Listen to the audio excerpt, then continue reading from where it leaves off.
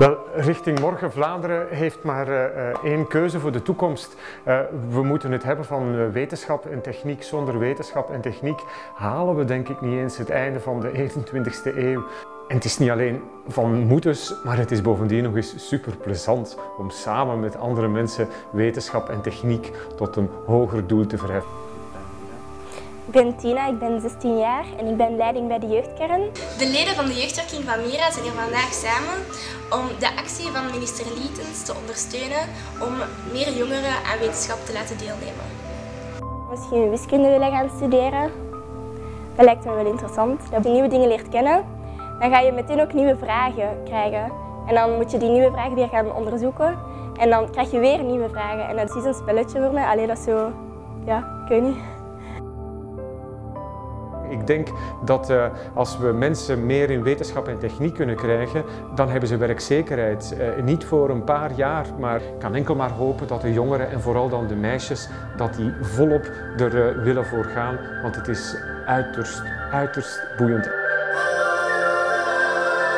Het is dankzij onze oma en opa dat wij naar hier kwamen toen ik in het vijfde leerjaar zat. Zij vonden dat hier interessant en dan hadden zij gezegd dat we een keer mochten meegaan. En dan kwamen we naar de Astroclub elke maand.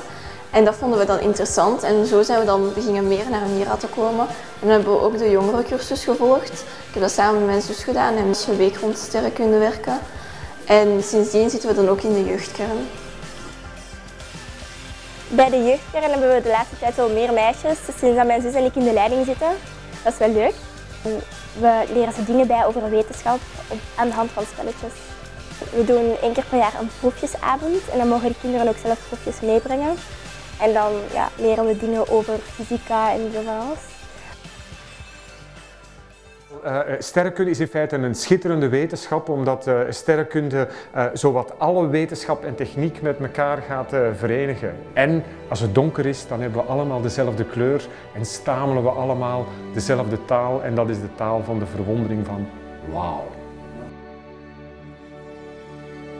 Het stört me eigenlijk wel een beetje dat er vooral mannelijke sterrenkundigen en ruimtewaarders bekend zijn. Want ik vind dat vrouwen ook wel um, het recht hebben. En ik denk toch wel dat de meisjes steeds meer ook hun mannetje gaan staan in de wetenschap. Ik heb zelf ook thuis een telescoop. Maar hier in België kunnen we niet zo heel veel zien, maar dan gaan we soms naar Dardenne en daar dan waarnemen. Dat is wel heel leuk. Vanaf dat ik in het vijfde leerjaar zit, komen we al naar Mira. Dus vanaf toen wist ik al zeker dat wetenschappen mij interesseerde. En uh, nu zit ik in mijn eerste jaar voor een bachelor om les te geven in het secundair onderwijs, biologie en aardrijkskunde, dus ook wetenschappen.